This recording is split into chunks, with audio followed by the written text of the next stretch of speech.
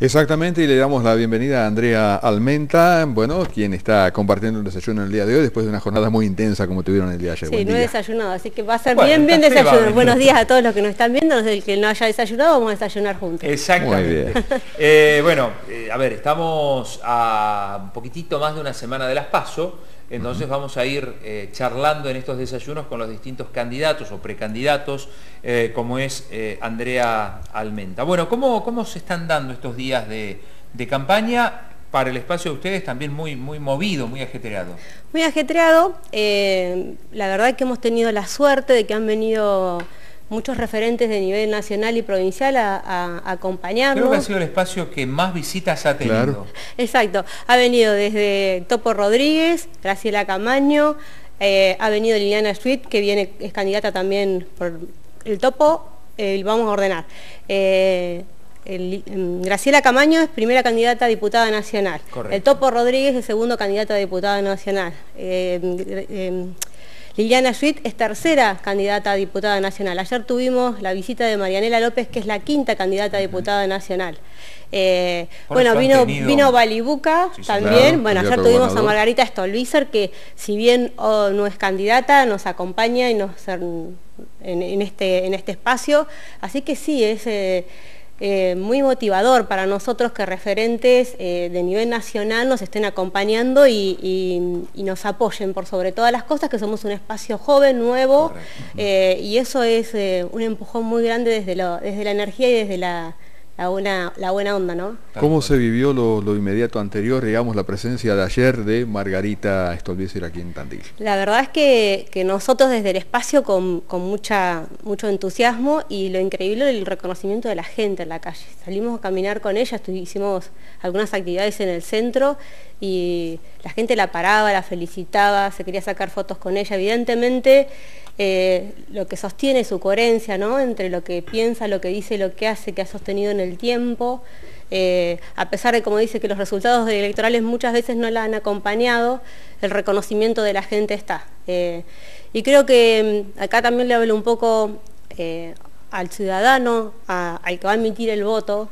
que quizás deberíamos probar más cuando en pensar cuántos de nuestros representantes son coherentes entre lo que piensan, lo que dicen y lo que hacen sostenido en el tiempo. Este valor que se le reconocía ayer a Margarita, que se refleje un poco en las urnas, porque me parece que es lo que nos está haciendo falta. Sí, sí, esa, coherencia, por sobre todo, porque quien es coherente en su vida es coherente después cuando gobierna. Totalmente, totalmente. Correcto, en el caso de Margarita también incluyó la, visita aquí al Eco Multimedios, donde también este, pudo comunicarse directamente con la gente. ¿no? Sí, le dieron un espacio increíble, una nota impecable hizo Cecilia ayer. Eh, eh, la verdad que eh, fueron muchas las repercusiones, se pudo explayar, se sintió muy cómoda y bueno, eternamente agradecida de la casa, nos mandó saludo a Margarita por el espacio que le dieron, así que bueno. Agradecidos.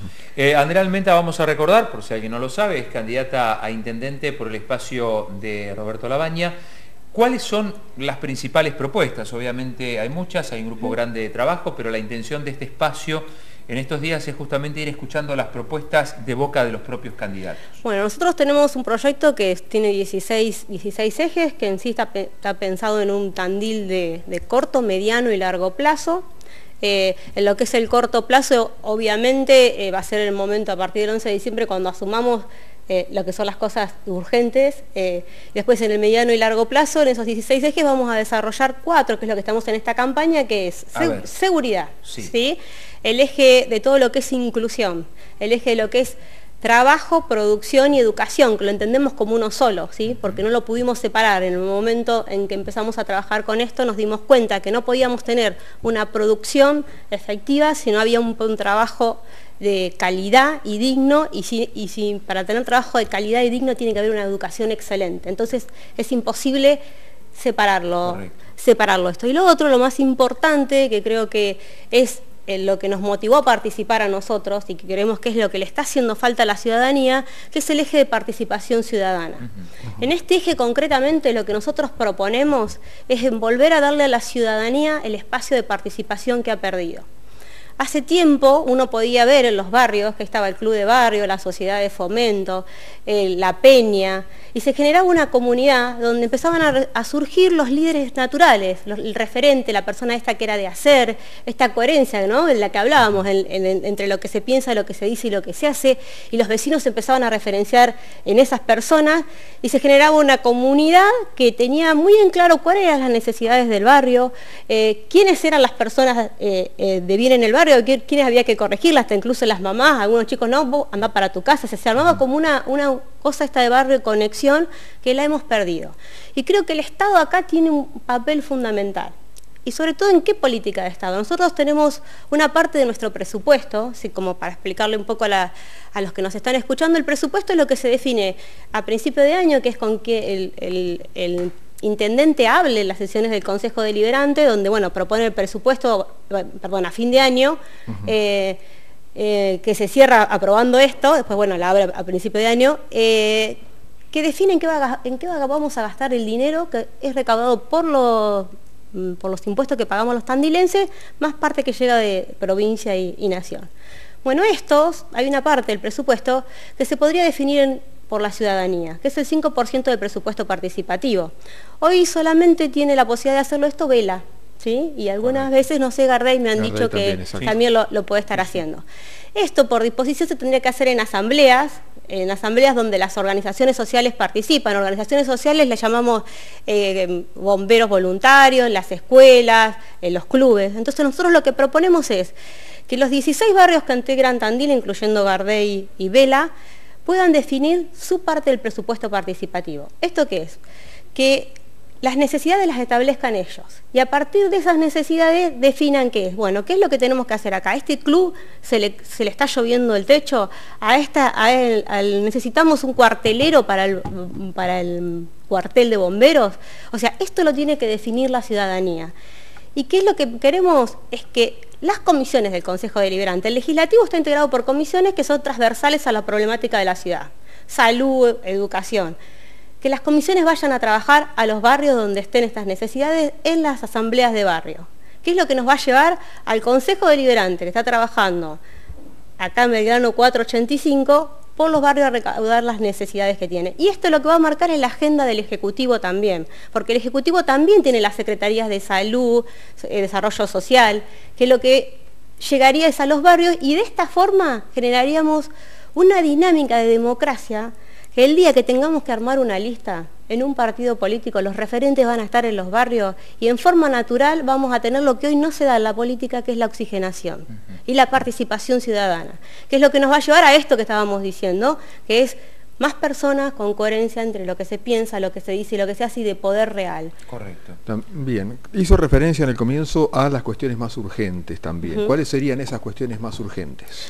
Eh, bueno, nosotros hemos visto que ha salido de tema el tema de la seguridad, es algo urgente que tenemos que atacar, o sea, rápidamente en forma coordinada entre lo que tienen que ver con los distintos actores, o sea, acá es el poder mm, ejecutivo con sus políticas, como, hemos hablado de todo lo que es el tema de las cámaras, o sea, cosas que están fallando, eh, la policía, la justicia y la ciudadanía en general en todo lo que tiene que ver con, la educación y la conciencia, ¿sí? porque cuando hablamos de seguridad no hablamos solamente de seguridad con lo que tiene que ver con lo que puede ser un asalto, sino la seguridad vial, lo que tiene que ver con la conciencia de manejo. Entonces creo que claramente hay que abordar eso. Lo otro es el desarrollo de suelo urbano.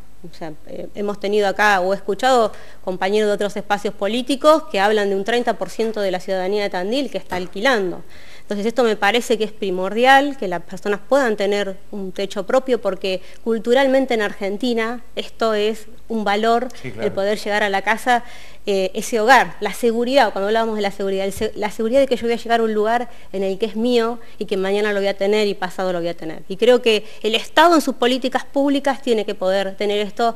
Nosotros vemos de repente noticias que se hacen asentamientos, que la gente toma toma tierras que no le pertenece. Eso claramente está dado eh, porque no hay políticas de Estado que piensen en todos los niveles sociales al momento de desarrollar suelo urbano. No podemos tener torres donde un piso vale 400 mil dólares y no tener viviendas accesibles para las personas de menor poder adquisitivo. ¿no? Bien, y en materia de inclusión, eh, bueno, también mencionó que es uno de los ejes principales en los que están trabajando. Eh, bueno, ¿cuáles serían algunos de los proyectos? Bueno, una de las de los proyectos fundamentales que tenemos es un proyecto de la tercera, la tercera edad, los adultos mayores. En Tandil hay más de 25 adultos mayores. Eh, nosotros tenemos una muy, una política de Estado muy, muy pobre. en el dato, ¿en Tandil hay? Más de 25.000 adultos ah, 25 mayores. 25.000, sí.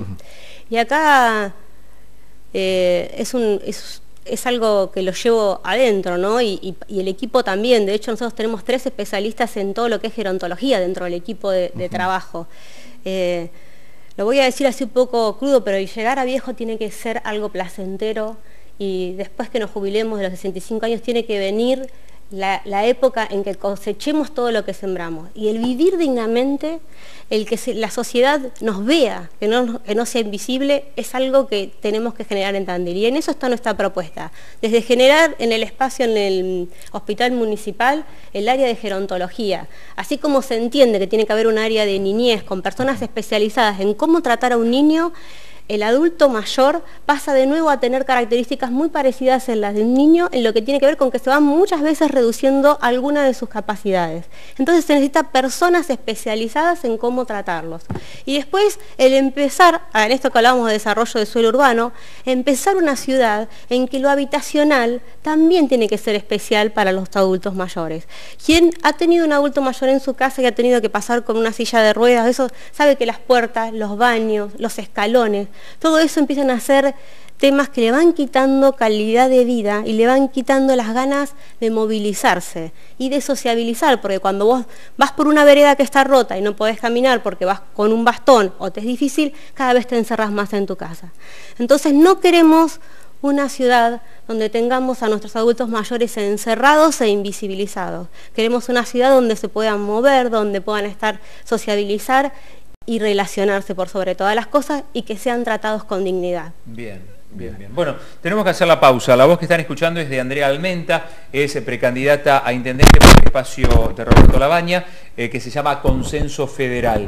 Eh, es la única mujer candidata, ¿eh? la única mujer candidata a intendente aquí en la ciudad de Tandil. Andrea Almenta, precandidata a intendente por consenso federal, el espacio que lleva como candidato a presidente a Roberto Lavaña. Exacto, muchos mensajes que han llegado por aquí, algunos de ellos tienen que ver justamente con Andrea, por ejemplo, eh, alguien que dice vayamos por una mujer a la intendencia y alguien que preguntaba si tienen sede o por dónde ponerse en contacto con ustedes. Sí, estamos eh, prontos a, a verla, 9 de julio 243, así que ya a partir del lunes vamos a estar funcionando ahí. Eh, y bueno, en algunas actividades un poco más amplias, porque la sede va a ser muy chiquita, va a ser eh, para poder dar datos de padrón o el que quiera acercarse a, consultarnos, lo estamos haciendo en el Hotel Francia. Agradecemos al doctor Escarnato que nos nos, brinda el espacio gentilmente y nos ha cobijado ahí desde el momento que quisimos armar esto, ¿no? Bien, bien, bien, bien. Eh, había por ahí otro mensaje que en realidad por ahí tenía que ver más con... Con PAMI, por ejemplo, hacían referencia... Nacional, pero creo que vale la pena. Hacían referencia que, bueno, muchas veces tienen que ir más de una vez los jubilados al PAMI o no tienen familiares para ir y no pueden movilizarse. Bueno, esto es lo que hablábamos de una política de Estado integral, nosotros creemos que esta respuesta que vos estabas dando, Claudio, que era de nivel nacional, nivel provincial, esto lo escuchamos todo el tiempo en la excusa. La patada, eh, eh, se manda la pelota. Exactamente.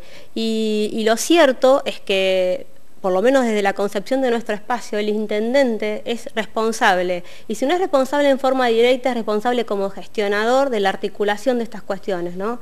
Eh, nosotros tenemos que poder generar un área donde todas estas cuestiones que tienen que ver con el servicio, de acercar al adulto mayor a, que tenga estas disponibilidades y no el adulto mayor a PAMI. O sea, tiene que ser al revés, o sea, tenemos que estar eh, mm, detrás de ellos. No, pobre, tiene que ir a PAMI a hacer la autorización, él a sacar el turno, él al banco a cobrar. O sea, es acercar y acá es donde hablamos del desarrollo de espacios especializados, espacios, hace poco se, trajo un proyecto acá que vi que lo presentaste vos, Claudio, que se hizo en el Policlínico, donde hay una, un loteo con un espacio central pensado en lo que es adultos mayores, con casas eh, especializadas con consultorios. La idea es poder hacer desarrollo del suelo urbano de este tipo, donde se piense en el adulto mayor. Y la otra es cuando hablábamos de las comunidades y de los barrios, es poder descentralizar.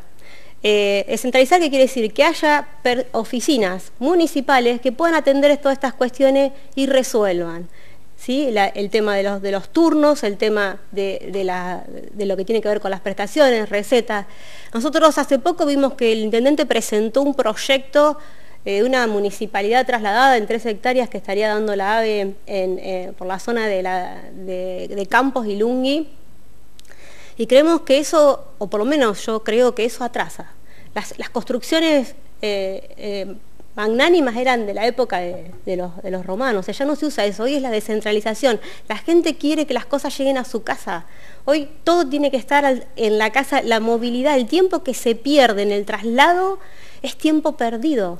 Entonces, lo que tenemos que hacer es descentralizar y no armar un superedificio, es pensar que los ciclos centros estos comunitarios, que exista la municipalidad en los barrios, que exista el PAMI en los barrios, que existan bocas de bancos en los barrios donde se pueda cobrar, cobrar quiero decir, percibir los saberes, y no al revés todo centralizado acá, todo embotellado en el centro o todo embotellado en Campos de Ilunguis y trasladamos ahí, porque en realidad lo que estás haciendo es lo que tenías concentrado acá, lo estás terminando concentrando en otra zona. Una especie de centro cívico barrial, digamos. Es exactamente así como lo estás definiendo. Y esto lo que, lo que lleva es a que cada barrio pueda atender sus necesidades y que el municipio vaya al barrio. No que tengamos que venir a Belgrano al 400 a pagar un impuesto, o tengamos que eh, o hacer un trámite. Nuestra concepción es la descentralización, porque cuando vos descentralizás lo que haces es que las personas puedan tener, eh, ser más ágil al momento de realizar cualquier tipo de gestión. ¿no? Mm, correcto. Y en materia de, bueno, el otro de los ejes importantes que mencionaba en el comienzo, trabajo, producción, educación, ¿por dónde pasarían las propuestas? Bueno, acá eh, puntualmente creo que la articulación entre lo, privado eh, y lo público, bueno, y el sector educativo es fundamental. Vengo del sector de la producción, entonces puedo saber cuánto puede o no ayudar una política de Estado al sector productivo. ¿En esto a qué me refiero? Que estoy una convencida que el Estado no tiene que hacer todo. El Estado lo que tiene que ser es un ordenador de la gestión y generar el marco de referencia para que el privado tenga la tranquilidad de invertir y saber que su inversión va a tener un retorno y va a poder recuperar el dinero y va a poder hacer negocio con eso, ¿no? Entonces acá eh, claramente Tandil ha crecido a voluntad de los privados. Cada uno viene y pone plata donde quiere y hace el, negocio que quiere sin que haya una política. Podemos ver o podemos, eh, eh, se puede visualizar que ha habido una política lo que tiene que ver con el turismo. Pero cuando uno recorre los espacios turísticos, desde, hoteles que tienen eh, muchísimas instalaciones, a cabañas pequeñas, a, personas que alquilan departamentos, te dice que no es así, que no es en este sentido, que se sienten como muy, muy solos al momento de, bueno, eh, tienen temporadas con picos, dicen, nos está faltando llenar los picos, no hay una política de relación entre municipios. Y acá voy a decir un ejemplo claro. Nosotros se gastó mucho, mucho tiempo desde la Secretaría de Desarrollo Local en traer un avión, ¿sí? en la gestión de Jaime Fini.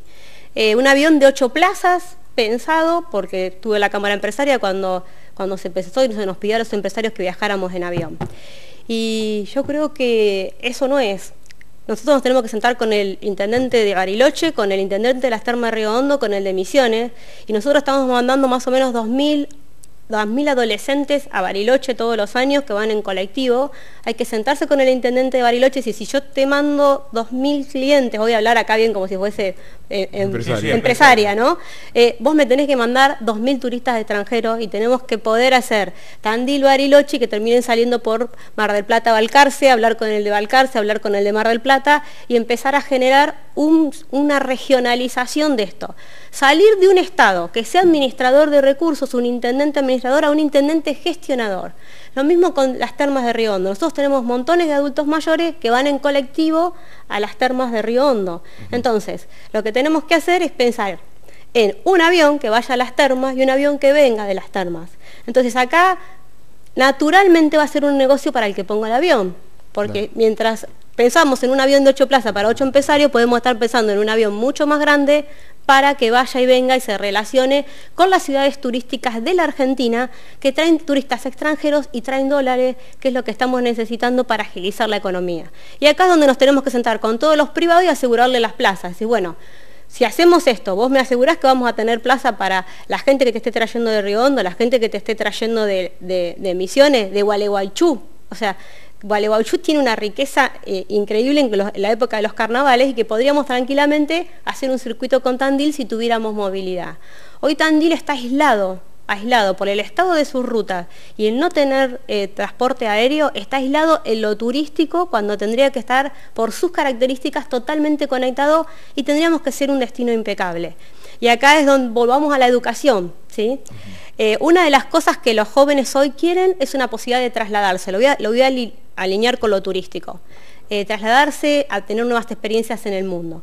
Nos sentamos con el intendente de Córdoba, ¿sí? vamos a Córdoba. Una persona que está haciendo las prácticas eh, profesionalizantes en el centro 403 de López, que tiene todo, todo esto que tiene que ver con la hotelería vamos a, tomar un empleo en el hotel, lo podemos hacer seis meses en Córdoba, seis meses en Tandil y vivimos la experiencia, hacemos el intercambio del cordobés con el tandilense.